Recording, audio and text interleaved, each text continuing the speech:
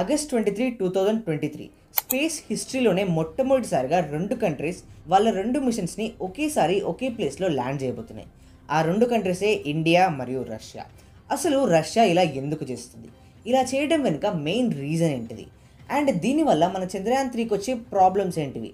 వీటి గురించి మనం డీటెయిల్డ్గా ఈ వీడియోలో తెలుసుకుందాం. సో మరి ఇంకెందుకు ఆలస్యం? నమస్తే ఎవరివన్ ఐఆమ్ సాయివర్ధన్ చలో ఇంకా వీడియో స్టార్ట్ చేద్దాం. Choose to go to the moon in this decade and do the other things, not because they are easy, but because they are hard. On October the 4th, 1957, while the Americans were still finalizing their plans, Sputnik was launched. Today, a new moon is in the sky, a 23-inch metal sphere placed in orbit by a Russian rocket.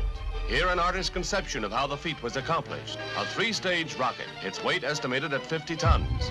The smaller second stage took over at 5,000 miles an hour and carried on to the highest point reached. 500 miles up, the artificial moon is boosted to a speed counterbalancing the pull of gravity and released. Fourth October nineteen fifty seven రోజు Russians వాళ్ళు మొట్టమొదటిసారిగా స్పేస్లోకి ఒక artificial శాటిలైట్ని launch చేశారు అదే Sputnik one ఇది launch చేసిన వెంటనే ప్రపంచమంతా షాక్ అయిపోయింది అండ్ ఇది లాంచ్ చేసిన next మంతే third November nineteen fifty seven రోజు స్పేస్లోకి మొట్టమొదటిగా ఒక లివింగ్ క్రియేచర్ని లైకా అనబడే లివింగ్ క్రియేచర్ని లాంచ్ చేశారు. ఇది ఒక డాగ్. అయితే ఇది లాంచ్ చేసిన తర్వాత భూమి మీదకి వచ్చేటప్పుడు ఆ స్పేస్ క్రాఫ్ట్లో ఎయిర్ కండిషనింగ్ మ్యాల్ ఫంక్షన్ వల్ల స్పేస్ క్రాఫ్ట్ ఓవర్ హీట్ అయిపోయి లైకా అందులోనే చనిపోయింది. అప్పటికీ రష్యా ఆగలేదు. ట్వెల్త్ ఏప్రిల్ నైన్టీన్ సిక్స్టీ వన్లో మొట్టమొదటిసారిగా ఒక హ్యూమన్ని ఎర్త్ ఆర్బిట్లోకి పంపించి మళ్ళీ భూమిపైకి తీసుకొచ్చింది. అతనే యూరీ గ్యాగరిన్. దీని గురించి మనందరికీ తెలుసు. అసలు ఇవంతా నేను మీకు ఎందుకు చెప్తున్నా అంటే రష్యాకి స్పేస్లో అందరికన్నా ముందుండడం అంటే చాలా ఇష్టం. ఆబ్వియస్లీ అన్ని కంట్రీస్కి ఇష్టమే బట్ రష్యా కొంచెం ఎక్కువ ఇంట్రెస్ట్. అయితే వీటన్నిటికీ చెక్ వేయడానికి అమెరికా నైన్టీన్ సిక్స్టీ నైన్లో అపోలో ఇలెవెన్ మిషన్ లాంచ్ చేసింది. అది లాంచ్ చేసే ముందు ఒక అనౌన్స్మెంట్లో మేము మూన్ పైకి మనుషుల్ని పంపిస్తున్నాం అని చెప్పింది. We choose to go to the moon in this decade and do the other things, not because they are easy, but because they are hard. అలా నైన్టీన్ సిక్స్టీ నైన్లో లాంచ్ చేసిన ఆ మిషన్ గురించి టూ థౌజండ్ ట్వంటీ త్రీ వరకు అంటే ఇప్పటి వరకు మనం డిస్కస్ చేసుకుంటూనే ఉన్నాం. ఇలా రష్యా వాళ్ళు నిర్వహిస్తున్న మిషన్స్ అన్నిటికీ అప్పట్లో అమెరికా చెక్ పెట్టింది. అయితే ఇన్నేళ్ళ తర్వాత మన ISRO Chandrayaan three moon south pole side మొట్టమొదటిసారిగా వెళ్ళాలని చూస్తుంది. ఇప్పటి వరకు ఏ కంట్రీ కూడా ఆ ప్లేస్ వరకు వెళ్ళలేదు. సో ఈ రేస్లో కూడా రష్యానే ముందుండాలి అని చెప్పి రష్యా నలభై ఏడు సంవత్సరాల తర్వాత ఇప్పుడు ఒక స్పేస్ క్రాఫ్ట్ని లాంచ్ చేయబోతుంది. అదే లూనా ట్వంటీ ఫైవ్. ఈ మిషన్ గురించి తెలుసుకునే ముందు మనం లూనా మిషన్స్ గురించి తెలుసుకోవాలి. అసలు ఇవి ఎప్పటి నుంచి స్టార్ట్ అయ్యాయి అండ్ వీటి బ్యాక్ స్టోరీ గురించి ఇప్పుడు కొంచెం బ్రీఫ్గా తెలుసుకుందాం. లూనా వన్ దీన్ని ఫిఫ్త్ జనవరి నైన్టీన్ ఫిఫ్టీ నైన్లో మొట్టమొదటిసారిగా లాంచ్ చేశారు. అయితే ఈ లూనా వన్ మిషన్ అనేది ఎర్త్కి దూరంగా ఉండే హీలియోసెంట్రిక్ ఆర్బిట్ దగ్గరికి వెళ్ళి మళ్ళీ తిరిగి వచ్చేసింది ఆ తర్వాత అదే సంవత్సరం twelfth September nineteen fifty nine రోజు లూనా టూని లాంచ్ చేశారు. ఇది చంద్రుడి వరకు వెళ్ళి చంద్రుడు లోపల కూడా వెళ్ళింది. కాకపోతే చంద్రుడు సర్ఫేస్ దగ్గరికి వెళ్ళిన తర్వాత అది క్రాష్ ల్యాండ్ అయిపోయింది. ఇలా లూనా టూ మిషన్ అనేది ఫెయిల్ అయిపోయింది. దాని తర్వాత కేవలం ఒక్క నెల గ్యాప్లోనే లూనా త్రీ మిషన్ లాంచ్ చేశారు. Fourth October nineteen fifty one రోజు లూనా త్రీ ఆర్బిటర్ని ఇలా చంద్రుడి దగ్గరికి వెళ్ళి మళ్ళీ తీసుకొచ్చారు. ఇది జస్ట్ అక్కడికి వెళ్ళి ఒక లుక్ వేసి మన ఎర్త్ దిక్కు వచ్చేసింది బట్ అది అలా వెళ్ళడంతో పాటు అసలు చంద్రుడి దగ్గర నుంచి చూస్తే ఎలా ఉంటుంది అనే ఈ ఫోటోగ్రాఫ్స్ని మనకి దింపి పంపించింది. సో ఈ విధంగా వీళ్ళు Luna one two three missions launch చేశారు. అలా చాలా మిషన్స్ లాంచ్ చేశారు కానీ కరెక్ట్గా చంద్రుడి పైకి ల్యాండ్ అయిన మొట్టమొదటి మిషన్ మాత్రం లూనా నైన్ మిషన్ అసలు ఈ లూనా నైన్ మిషన్ని ఎలా లాంచ్ చేశారో ఒక యానిమేషన్ వీడియో ద్వారా చూద్దాం. అయితే దీన్ని thirty first Jan nineteen sixty సిక్స్లో లాంచ్ చేశారు.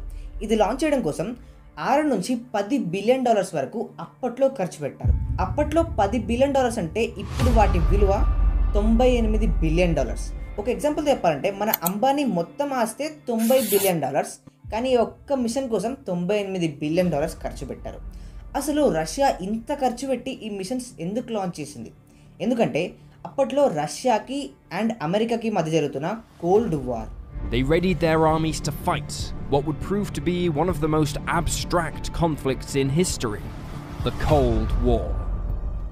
అసలు ఈ స్పేస్ రేస్లో ఎవరు గెలుస్తారు అని చెప్పి రష్యా అమెరికా చాలా స్పీడ్గా పోటీ పడుతుండే. ఈ కోల్డ్ వార్ అనేది ఒక సపరేట్ టాపిక్ దీని గురించి ఒక పెద్ద వీడియో చేయొచ్చు మనం సో దీన్ని మనం తర్వాత వీడియోస్లో కవర్ చేసుకుందాం. బట్ అంతలోపే రష్యా చంద్రుడిపైకి చాలా మిషన్స్ని లాంచ్ చేసింది. లాంచ్ చేయడం అంటే ఆర్బిటర్ మిషన్స్ కాదు. చంద్రుడి పైన దిగిన మిషన్స్ ఎన్ని ఉన్నాయంటే Luna nine Luna thirteen sixteen seventeen twenty twenty one twenty three twenty four and ఇప్పుడు ట్వంటీ ఫిఫ్త్ మిషన్ని లాంచ్ చేస్తుంది. ఈ మధ్యలో ఉండాల్సిన మిషన్స్ ఏమైనా అంటే అందులో కొన్ని ఆర్బిటర్స్ మిషన్స్ అండ్ ఇంకొన్ని ఫెయిల్ అయిపోయిన మిషన్స్ లూనా ట్వంటీ ఫోర్ అనేది సోవియత్ యూనియన్ వాళ్ళు లాంచ్ చేసిన ఒక రోబోటిక్ ప్రోబ్ మిషన్ ఇది చంద్రుడిపైకి వెళ్ళి అక్కడ ఉండే మట్టి శాంపిల్స్ని తీసుకొని భూమి మీదకి తీసుకొస్తుంది. అయితే దీన్ని August ninth nineteen seventy six రోజు లాంచ్ చేశారు. అప్పట్లో రాస్కాస్మోస్ని సోవియత్ యూనియన్ అని పిలిచేవారు. అయితే వీళ్ళు లూనా ట్వంటీ ఫోర్ కన్నా ముందు Luna sixteen Luna twenty missions launch చేశారు. ఇవి కూడా సేమ్ ఇలానే శాంపుల్ కలెక్ట్ చేసుకొని తీసుకొచ్చిన మిషన్స్. అయితే ఈ ట్వంటీ ఫోర్ మిషన్ అనేది మూన్ పైకి వెళ్ళి ఈ విధంగా శాంపుల్ కలెక్ట్ చేసి one seventy point one gram moon మీద ఉండే సాయిల్ని మన భూమిపైకి తీసుకొచ్చింది. ఇలా ఇది మూన్ పైకి వెళ్ళి మళ్ళీ ఎర్త్ పైకి ఆ శాంపిల్ తీసుకురావడానికి పదమూడు రోజుల టైం పట్టింది.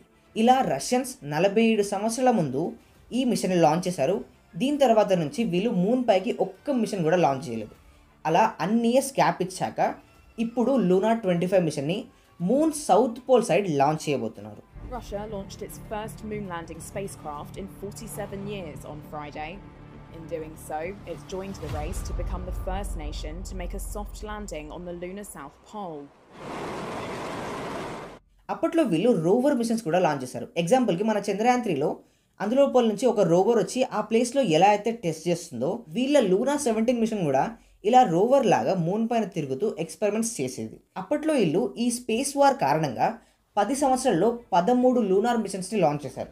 అంటే ఎంత స్పీడ్గా వాళ్ళు అప్పుడు వర్క్ చేస్తున్నారో మీరే ఉంచుకోండి ఇలా రష్యన్స్ నలభై ఏడేళ్ళ గ్యాప్ తర్వాత లూనా ట్వంటీ ఫైవ్ మిషన్ని లాంచ్ చేశారు. దీన్ని August eleven two thousand twenty three morning four forty ఏఎంకి launch చేశారు.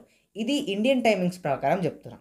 అయితే ఇప్పుడు వీళ్ళు లాంచ్ చేసిన ఈ లూనా ట్వంటీ ఫైవ్ మిషన్ అనేది ఐదు రోజుల్లో చంద్రుడి దగ్గరకు రీచ్ అవుతుంది. అలా రీచ్ అయిన తర్వాత ఫైవ్ టు సెవెన్ డేస్ గ్యాప్లో చంద్రుడి చుట్టూ తిరుగుతూ ఎగ్జాక్ట్ ఆగస్ట్ ట్వంటీ త్రీ రోజు అంటే మన చంద్రయాన్ త్రీ మూన్ పైన ల్యాండ్ అయ్యే రోజే వీళ్ళ స్పేస్ క్రాఫ్ట్ కూడా మూన్ పైన ల్యాండ్ అవబోతుంది అలా ల్యాండ్ అయ్యి ఇది మూన్ సౌత్ పోర్లో కొన్ని టెస్టులు చేయబోతుంది. దాని గురించి ముందు మాట్లాడుకుందాం.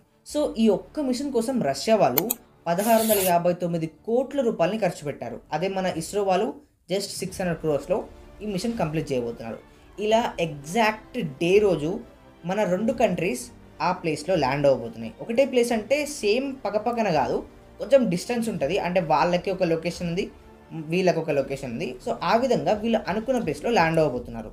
ఇప్పుడు మనం మన చంద్రయాన్ త్రీకి అండ్ ఈ రష్యా వల్ల లాంచ్ చేసిన లూనా ట్వంటీ ఫైవ్కి ఉన్న డిఫరెన్స్ ఏంటో తెలుసుకుందాం. ఫస్ట్ డిఫరెన్స్ అయితే రష్యా వాళ్ళు ఏంటంటే లూనార్ పైన జస్ట్ స్టడీ చేయడానికి ఈ Luna twenty five mission launch చేస్తున్నారు. అండ్ మన ఇస్రో వాళ్ళు ఈ మిషన్ ఎందుకు లాంచ్ చేస్తున్నారంటే అక్కడ సేఫ్గా ల్యాండ్ అయిపోయి ఒక రోవర్ని అక్కడ దింపి టెస్ట్ చేయడానికి. ఇలా ఈ రెండు మిషన్ ఆబ్జెక్టివ్స్ అనేవి డిఫరెంట్ డిఫరెంట్ ఉన్నాయి. సెకండ్ పాయింట్ ఏంటిదంటే ఈ లూనా ట్వంటీ ఫైవ్ అక్కడికి వెళ్ళడానికి ఐదు రోజులు టైం పడుతుంది.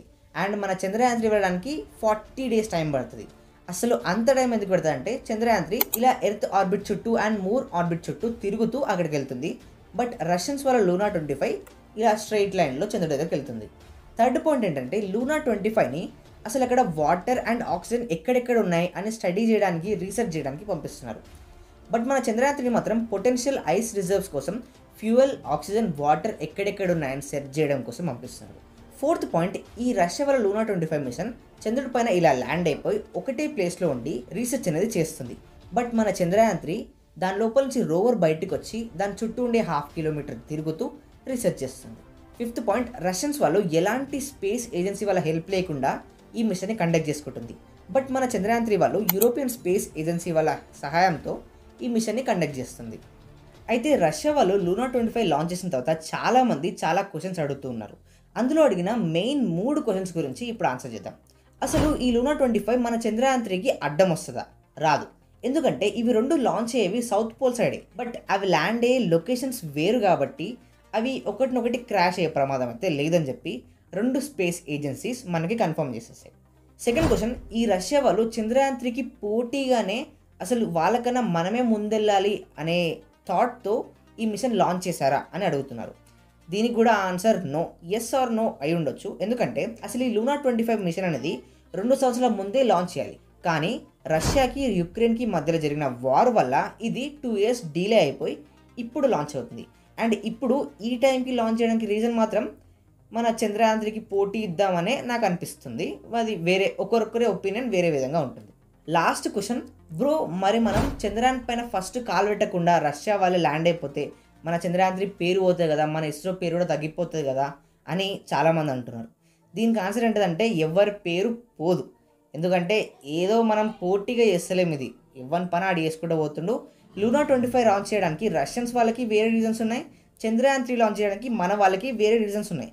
సో దీంట్లో పోటీ అనేది అయితే ఏం లేదు. కానీ ఇంకో విషయం ఏంటంటే లూనా ట్వంటీ ఫైవ్ లాంచ్ అయిన తర్వాత మన ఇస్రో వాళ్ళే ట్విట్టర్లో కంగ్రాచులేషన్స్ కూడా చెప్పారు. ఆ ట్వీట్ మీరు ఇక్కడ చూడొచ్చు. సో ఇలా ఎవరి పని వాళ్ళు చేసుకుంటూ వెళ్తున్నారు. మధ్యలో కొంతమంది వాళ్ళకి వీళ్ళకి ఇలా క్లాసెస్ అవుతున్నాయి అది ఇది అని చెప్పి రూమర్స్ స్ప్రెడ్ చేస్తున్నారు బట్ ఎవరిది నమ్మకండి. సో ఇది వీడియో. ఈ వీడియో మీకు ఇన్ఫర్మేటివ్గా అనిపిస్తే వీడియోని లైక్ చేయండి షేర్ చేయండి. ఇలాంటి మరిన్ని ఇంట్రెస్టింగ్ వీడియోస్ కోసం నచ్చితే మన ఛానల్ సబ్స్క్రైబ్ చేసుకోండి. See you in the next video and thank you for watch